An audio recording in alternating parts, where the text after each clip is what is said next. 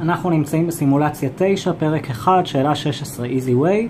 אז זאת שאלה שאנחנו רואים בה חזקות ושורשים. בעיקרון אין דרך לפתור אותה שהיא אחרת מהצבא. זאת אומרת, צריך להציב את התשובות בצורה מאוד מאוד מסודרת, ואז מגיעים בעצם לפתרון.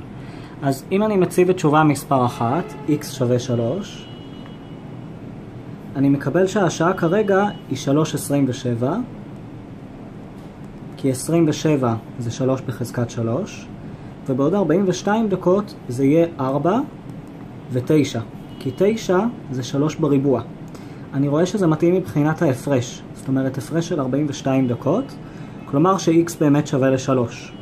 בואו נראה למה התשובות האחרות לא מתאימות. אז 7 ו-9 לא מתאים, כי 7 בחזקת 3 ו-9 בחזקת 3 זה מספרים נורא גדולים, כלומר זה לא ייתן לנו שעה שתסתיים ב-3 ו-59 דקות נגיד, זה כבר שעה שאין אותה.